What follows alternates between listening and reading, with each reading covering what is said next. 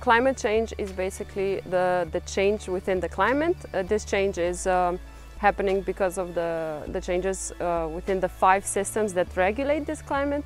And if this change is uh, too drastic, it impacts the life of organisms, of uh, all habitants of planet Earth. And that's why we are addressing it, because it's a major problem. In connection with this, we talk about global warming, because uh, global, global warming uh, is this distress that causes climate change. Um, and it's kind of the result of human activity or the systems of our society that we created during the history.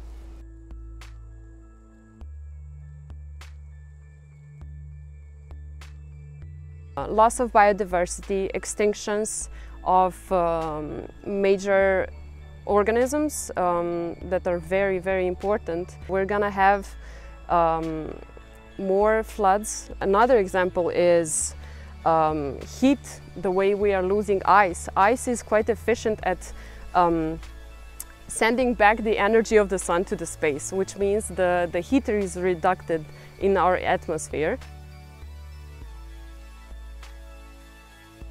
A bog extin going extinct is nothing for me. The problem is that there's a niche. He regulates the environment in some way and uh, that means they affect another species and this species affects another species and that's how niches work and ecosystems and that's uh, when at some point we are at the end of the, this niche, I guess, or the ecosystem, which means we will be either remain without, without food, without water, without uh, trees,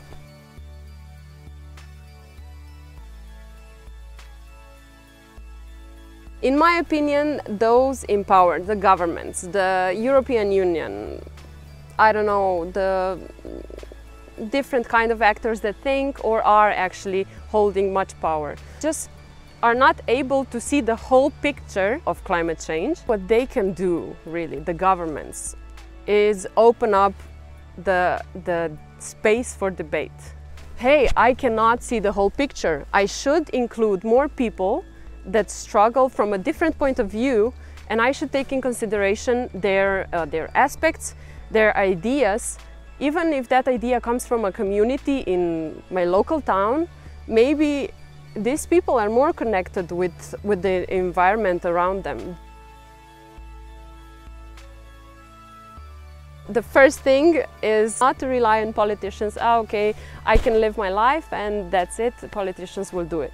One of the best way to think where I as individual am right now and how am I either adding up to the current status quo, what can I do to change this, or how can I as an individual try to move something, try to, with my observation, with my ability to connect uh, the local people uh, about a local uh, issue, for example, that's the way we can we can activate ourselves. If you see a forest in your local environment that needs to be either taken cleaned up because there's too much trash, you just organize and collect the trash.